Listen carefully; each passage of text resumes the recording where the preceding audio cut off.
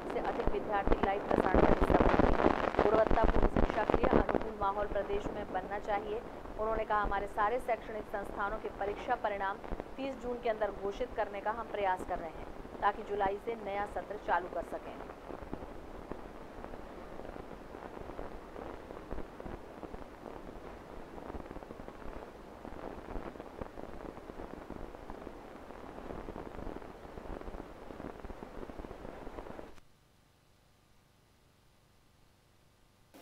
उम्मीद कर रहे हैं आपके माध्यम से नई शिक्षा नीति को लेकर के।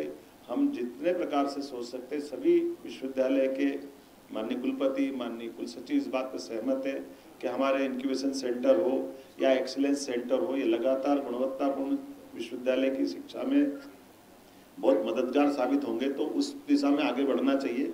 हमने अभी एक्सीलेंस सेंटर के लिए तीन विश्वविद्यालयों को और धनराशि देने का निर्णय किया है। विक्रम विश्वविद्यालय, रानी दुर्गावती विश्वविद्यालय और एक विश्वविद्यालय और है इसे करके हम तीन विश्वविद्यालय। डी जैसे कि आपने पूछा है हमने कहा कि हमारे पिछले सत्र की परीक्षा समाप्त समय सीमा में हो जाए तब हम अपना सत्र चालू कर पाएँगे। इसीलिए मैंने प्रारंभिक में कहा कि हम कोशिश कर रहे हैं हर हालत में 30 जून तक हमारे रिज़ल्ट आ जाए ताकि जुलाई से हमारा सत्र विधिवत रूप से प्रारंभ हो सके। इस वर्ष हमने रिज़ल्ट के साथ में एडमिशन में भी कई सुधार किए हम पिछली बार आपको हर हर बार अलग अलग उनके एडमिशन के लिए हमको अपनी लिंक खोलना पड़ती थी। अब उसको बजाय हमने पहली बार लिंक खोलेंगे, उसके बाद में सीएलसी राउंड में नीचे प्राचार्य को हम पावर देंगे और बार बार बच्चों को परेशान नहीं होना पड़ेगा, वो अपना ठीक से एडमिशन ले सकेंगे।